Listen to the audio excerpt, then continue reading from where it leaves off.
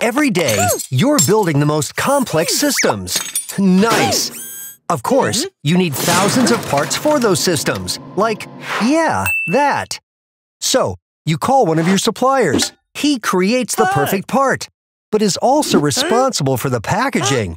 And that, mm, no, not so perfect. Then, when you receive the part, it's unpacked. Layer by layer. And those layers are thrown away, disappear, or end up. yeah. In fact, this happens with packaging all over the world. What a waste! Introducing the HQpack Service Center.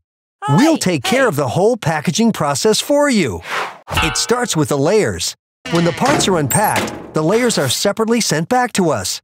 But that's no problem. Every layer has a barcode, so we know exactly which ones belong together. After that, we clean and repair them. Now, when you order a product, let us know. We'll check if we've got packaging that's ready to be reused. Hey! You can even check the availability yourself. And if nothing's available, we can produce or even develop new packaging for you. After that, it can go to you or the supplier, anywhere in the world. The HQpack Service Center.